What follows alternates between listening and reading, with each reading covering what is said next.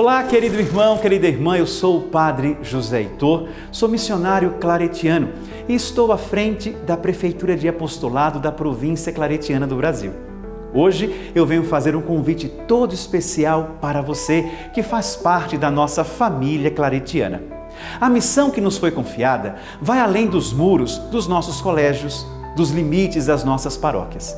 Ela se estende às periferias, a lugares onde estamos presentes com obras sociais que transformam vidas, levando dignidade, esperança e, sobretudo, o amor de Deus a muitas pessoas. Nesse momento, precisamos da sua ajuda para continuar essas obras da missão claretiana.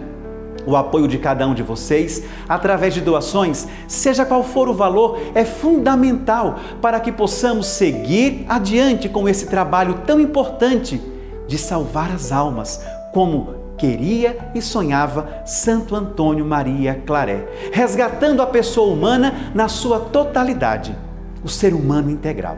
Você pode nos ajudar doando diretamente pela chave Pix solidariedade@claretianos.com.br.